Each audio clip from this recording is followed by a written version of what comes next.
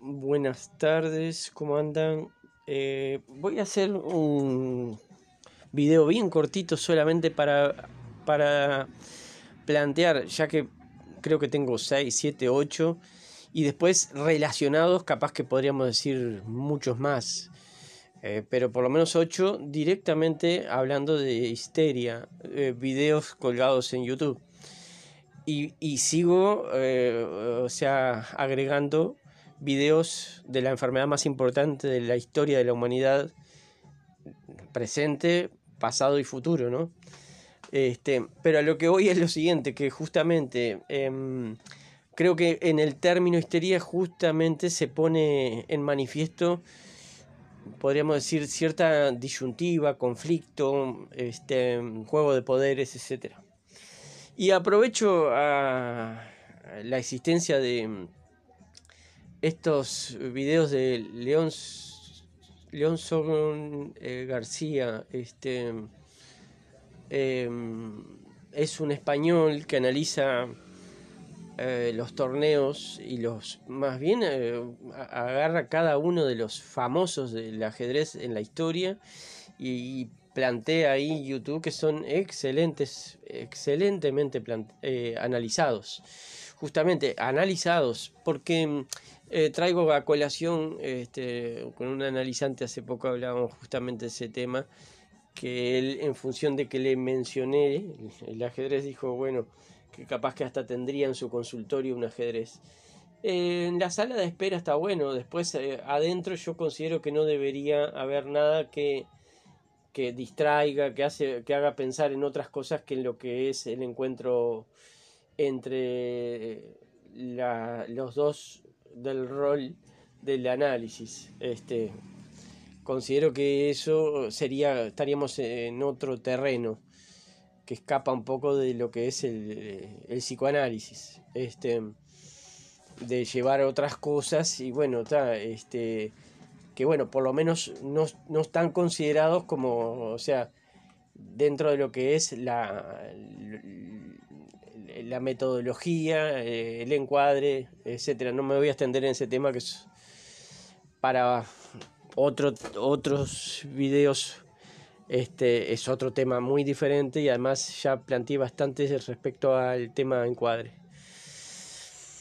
Y aprovecho el ajedrez entonces, bueno, que sirve para analizar eh, cómo viene siendo lo que va pasando, para ver cómo se sigue actuando de ahí en adelante con cada jugada. Con cada jugada en el ajedrez uno dice, bueno, esto es lo que pasó ahora y esto, en función de esto que, este cambio que produjo este movimiento que hizo esa persona con la que estoy, o ese aparato, la computadora, el celular que hizo, jugamos al ajedrez y hizo tal movimiento, ahora bueno, en función de eso.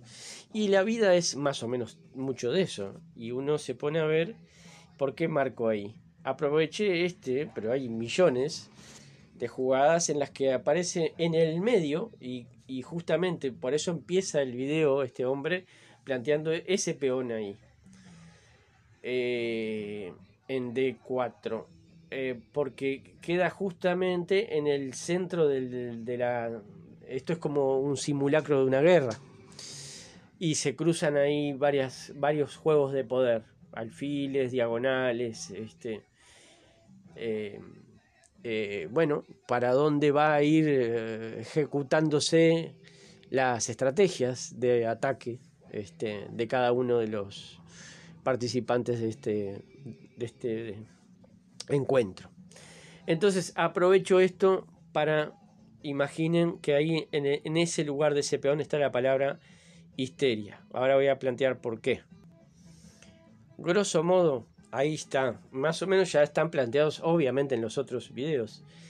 Pero estamos en la era de que lo nuevo es lo importante, lo viejo no. Las enfermedades eh, viejas existen, o sea, los nombres de las primeras enfermedades, yo que sé, viruela, varicela, tuberculosis, eh, se descubrieron no antes, muchísimo antes que Freud eh, descubriera la, este, la histeria. O sea que lo viejo y lo nuevo acá no correría, ¿no? O sea, es viejo y está presente y está presente. Uno. Dos. Eh, RSI, que bueno, de alguna manera ahí pongo algunas ideas que es el inconsciente, eh, las fantasías, este, no pongo obviamente los detalles que aluden a lo simbólico, lo, lo imaginario, lo real. Este, lo real hay con un signo de diferente, porque lo real, visto desde la biología y desde la medicina, es distinto.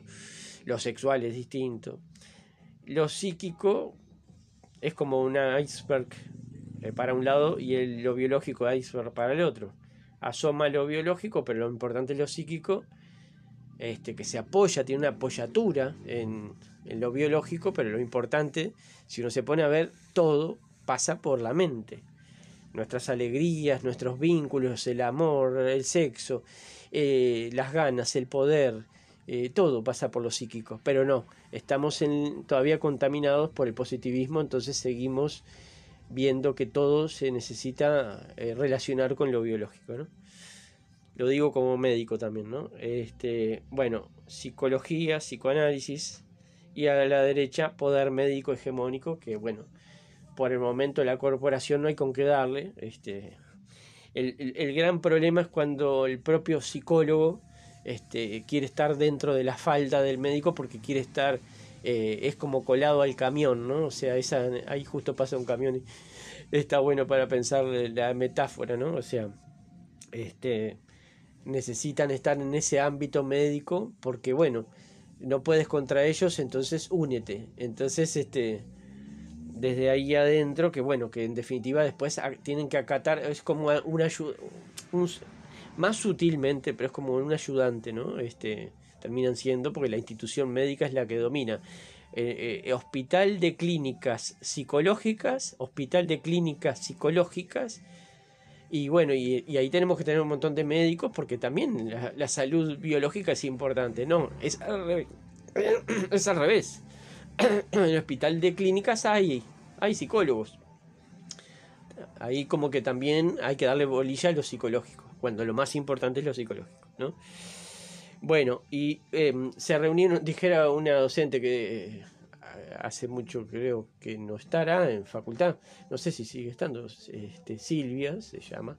El apellido no importa porque era una docente de técnicas, no, no, no, no hay por qué poner el nombre de las personas, pero digo, esa docente decía, se reunieron un montón de psiquiatras homosexuales para poder, este, bueno, ya lo planteé, ¿no? El tema cómo se, eh, cómo se maneja la idea de homosexualidad dentro de lo que era antes el DSM y después cambió y hoy por hoy eh, tuvieron como que, bueno, eh, lo mismo y a la inversa de lo que pasó con la histeria, ¿no? O sea, agarrar y decir, este, hay cuadros clínicos X, pero nunca relacionados con la homosexualidad. Lo mismo, pero a la inversa. en la histeria lo que se hace es, es la no una de las, la enfermedad que se caracteriza por, uno puede decir, pero para no, y entonces la anorexia también, como si hasta mueren por estar flacas porque eso es lo que marca la moda.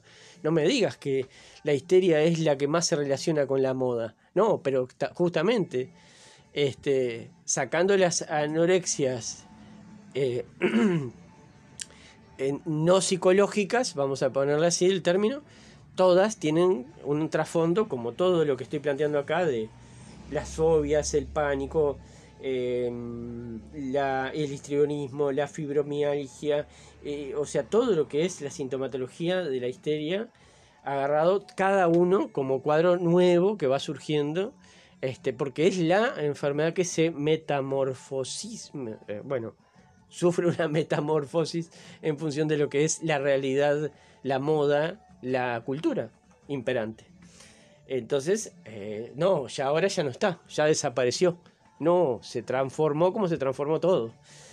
Eh, pero justamente en el término histeria, eh, por eso está en el centro del debate, del debate, ningún debate, porque no existe, pero debate que yo planteo para los propios psicólogos y más que nada psicoanalistas y más psicoanalistas y más que nada psicoanalistas que bueno, que hoy, eh, con el diario del lunes, que uno ve lo que va pasando y que bueno, que dejemos de lado esa necesidad del de, ultimísimo Lacan para ver siempre lo último, y Lacan vino 50 años después, eh, y ver que el propio Lacan dice, si ustedes quieren sean lacanianos, yo soy freudiano porque no puedo ser de otra cosa. ¿Cómo voy a ser de otra cosa si, si, si, si sin Freud no, no, existe el psicoanálisis? No, no existe el ejercicio liberal de la profesión nuestra.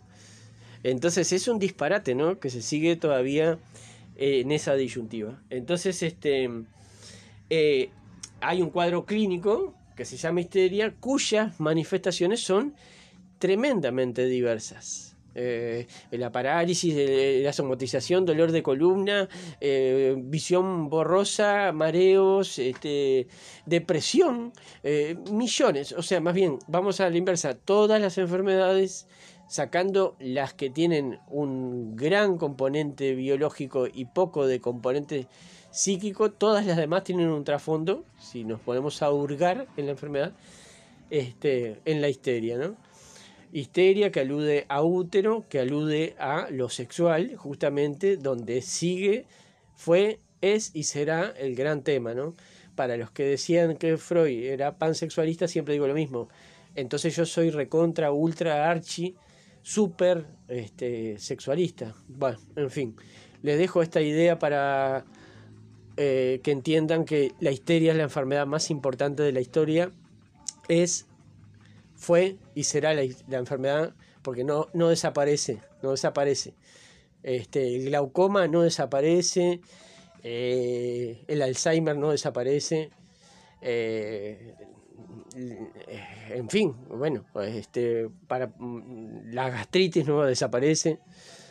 Eh, ¿Y gastritis histérica? Seguro que sí, claro. La, la gastritis, porque bueno, come cosas que son irritantes, también, también. No sé si quedó claro. Bueno, pero no desaparece, no desaparece. Lo que cambia es que la medicina necesita que, eh, tener todo el poder, ¿no? Como una profesión omnipoderosa, todopoderosa, omnipresente, este, bueno, y que no, lamentablemente los psicólogos sí derivamos, siempre digo lo mismo, a, cuando no hay más remedio, sí, pero no jugamos a los médicos, no es que jugamos a los médicos y bueno, ahora no pudimos, entonces ahora sí, ¿no? No, esto, vaya, atiéndase y después que solucione estos temas, viene y trata, porque digo, ¿qué persona, este, a qué persona no le va a ayudar un análisis personal, ¿no? Bueno, un saludo, estimados.